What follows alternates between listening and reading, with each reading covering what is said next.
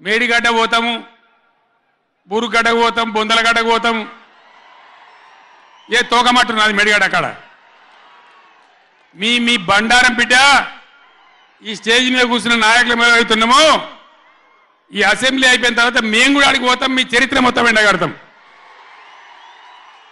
ఓ లంగ చేత పెట్టి పోయిన ప్రభుత్వాన్ని బదనం చేయాలి బట్టగాల్చి మీదేయాలని మేము మేడిగడ్డ పోతాం ఏం బిక్తాం మేడిగడ్డ పోయి? ఏం బీకనిక పోయినరని అడుగుతాడా అధ్యక్ష?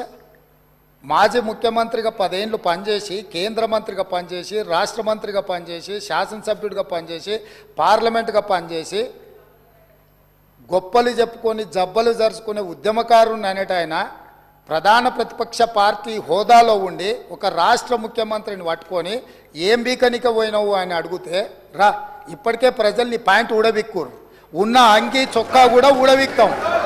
ఇప్పటికే తెలంగాణ ప్రజలు తెలంగాణ ప్రజలు తెలంగాణ ప్రజలు మొన్న జరిగిన ఎన్నికలలో మీ పాయింట్ ఊడబిక్కిరు ఇవాళ ఆ పాయింట్ ఊడవీకితే చెప్పుకునే దిక్కు లేక బొక్కబోర్ల వాడి పడితే బొక్కలిరిగినాయి మీకు. అయినా మీ బుద్ధి మారలేదు. ఒక ముఖ్యమంత్రిని పట్టుకొని ఒక ముఖ్యమంత్రిని పట్టుకొని ఏం బీకనిక పోయినా అని అడుగుతారా అధ్యక్ష? ఇది పద్ధత?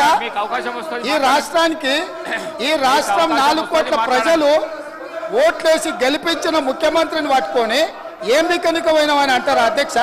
ఇదేనా తెలంగాణ సాంప్రదాయము?